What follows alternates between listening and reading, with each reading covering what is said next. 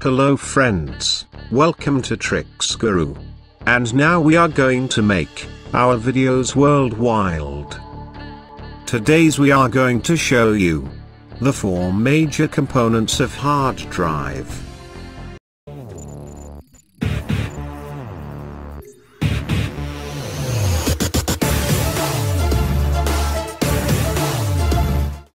The hard drive, which typically provides storage for data and applications within a computer, has four key components inside its casing. First one is the platter, for storing data. Second is the spindle, for spinning the platters. Third is the read, write arm, for reading and writing data, and, the fourth is the actuator, for controlling the actions of the read and write arm.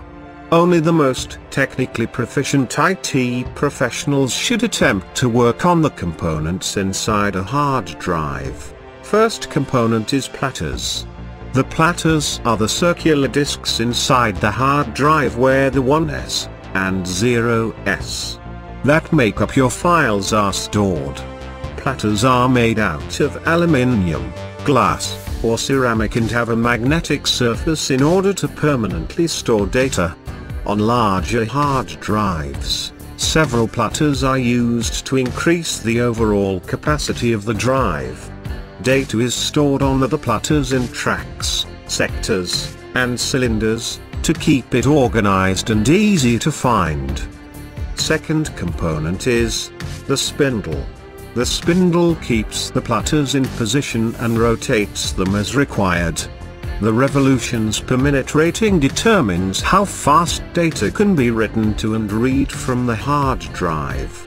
A typical internal desktop drive runs at 7200 RPM, though faster and slower speeds are available. The spindle keeps the platters at a fixed distance apart from each other to enable the read and write arm to gain access. Third component is the read and write arm.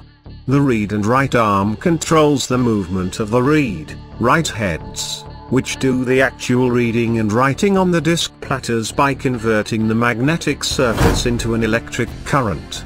The arm makes sure the heads are in the right position based on the data that needs to be accessed or written. It's also known as the head arm or actuator arm. There is typically one read, write head for every platter side, which floats 3 to 20 millionths of inch above the platter surface. Fourth component is the actuator. The actuator or head actuator is a small motor that takes instructions from the drive's circuit board to control the movement of the read and write arm and supervise the transfer of data to and from the platters. It's responsible for ensuring the read, write heads are in exactly the right place at all times.